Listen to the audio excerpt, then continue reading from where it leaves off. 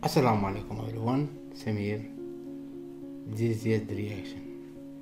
I want to share this with you because I feel guilty and I feel angry, I feel bad, I feel alone, I feel worthless, I feel like I am nothing.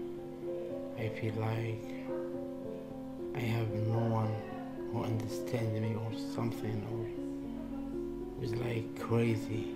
My dad he is upset upset upset upset upset or say the upset Upset with me. upset with me. He he upset with me because I take like money from his uh, pocket and he know that and he face me because I always want to go to buy something and that's something like shirt and because I have no, no money because depression is attack from long time we deal with that.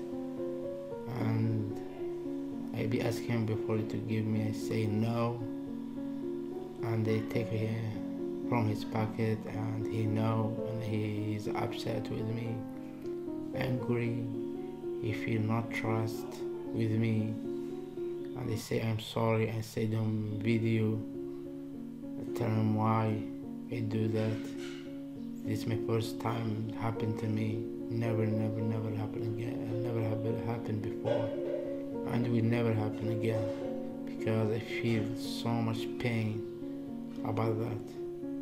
I want to share this with you and yeah thank you so much for being here for me for me and for me. Thank you so much. Share with you and see you in next video inshallah. Thank you for watching. Peace. Salam. Salam. Yeah. Salam